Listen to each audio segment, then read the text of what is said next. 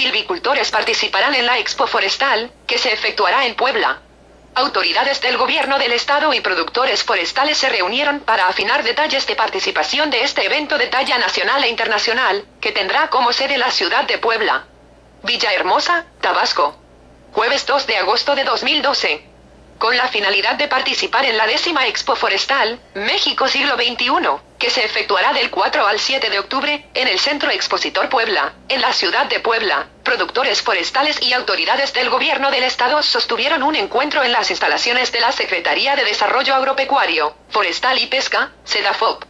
Expo Forestal es el foro de negocios nacional e internacional más grande en el país, en el que se presenta la oferta más completa de productos y servicios de la industria forestal, así como un programa de conferencias magistrales, talleres y encuentros de negocios con los temas actuales del sector. Con esta edición, son ya 10 años consecutivos la realización de Expo Forestal, la cual se ha distinguido por ser el evento más importante y emblemático del sector forestal nacional, buscando acercar cada vez más a productores y consumidores para realizar excelentes negocios y compartir la responsabilidad social y ambiental que hay detrás del aprovechamiento sustentable de los recursos forestales.